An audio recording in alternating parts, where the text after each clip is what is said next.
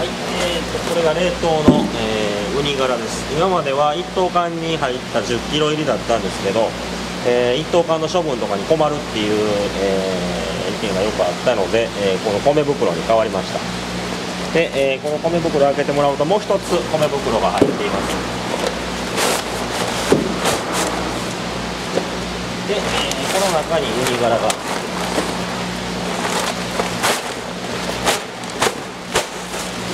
で、えー、このウニは、えー、紫ウニ食用とかで食べる紫ウニの、えー、殻が入っています。で使う時は、えー、前日なんかに電話で予約していただいたら、え、そこにもう出しておきますので溶けるようにしておきます。このまま海へ、え、掘ってもあの凍ってますんで浮いてしまいますんでで1回溶かしてえー、磯から、えー、巻きながらスコップで巻いたり、えー、土星の場合は船の上から巻いたりすることができます。で、えー、凍ってる重量で大体18キロぐらいありますけど、えー、溶けた状態で大体13キロになるようになっています。